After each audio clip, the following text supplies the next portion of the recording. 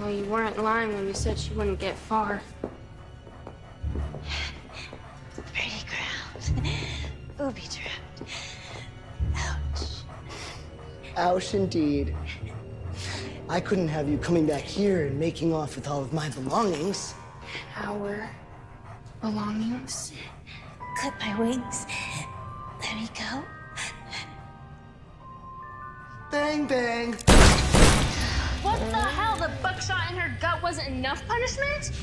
Just a little reminder of what happens when people try to steal from me. Good to know.